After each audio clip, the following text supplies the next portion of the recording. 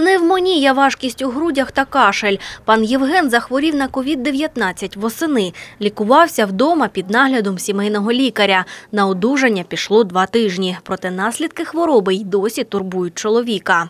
И ровно через два месяца в мои дверки постучал такой, такое проявление, как постковид. У меня это было с проявлений головокружения, двоения, э, нарушения зрения в сумеречное время. Чтобы избежать этого, есть элементарные правила, которые необходимо соблюдать.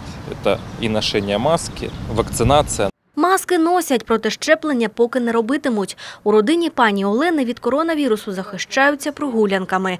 Жінка намагається уникати скупчення людей, а тому найчастіше проводить час з дітьми у парку. Надеемся только на себя. Маски носим, конечно, для успокоения, может быть, у- окружающих. Мы так особо не ходим, больше гуляем, в общественные места не ходим. Продовжувати дотримуватись обмежень закликають у Міністерстві охорони здоров'я.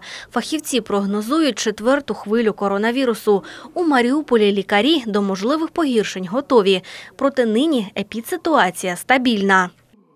Количество пациентов немножко уменьшилось.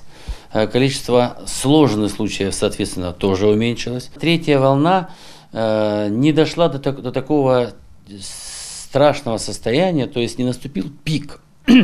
А что касается бдительности, то мы должны ее соблюдать каждый день, каждый час.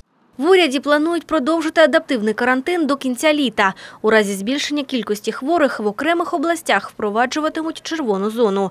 Медики очікують на захворювання новим індійським штамом COVID-19.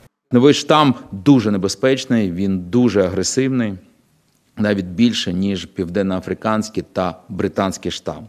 Він виражений е, надважкою клінічною картиною з ураженням не тільки, не тільки органів дихання, а й шлунково-кишкового тракту та нирок.